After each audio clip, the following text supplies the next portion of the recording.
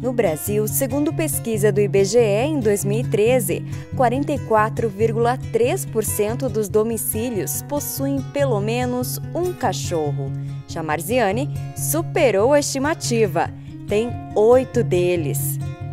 Eu chego do trabalho, eles vêm correndo me abraçar e eu saio para passear com eles.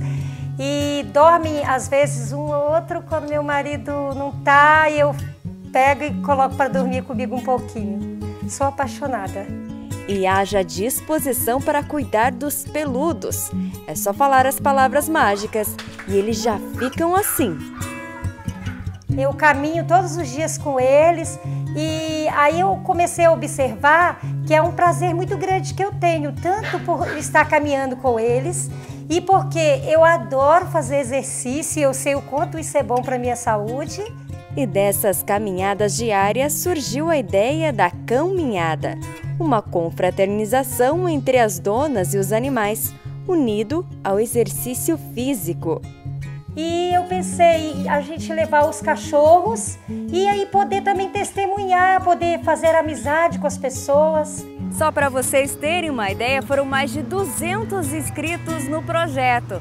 Mas nem todo mundo trouxe seu pet. Teve gente que teve que emprestar um cachorro para participar do evento. Foi o caso da Dona Olésia, que trouxe o pet da irmã e, é claro, a dona veio junto. Gostei, gostei bastante. Primeira vez que meu cachorro faz uma caminhada, muito interessante. O pessoal muito agradável, muito, fui muito bem recebida. Você está fazendo um exercício, né?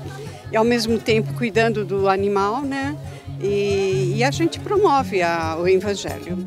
O projeto teve apoio da Igreja Adventista e livros evangelísticos foram entregues durante o evento. E eu creio que em tudo que a gente faz, em, tu, em tudo, todo o nosso trabalho, a gente pode usar para a glória de Deus e para ganhar pessoas para Cristo.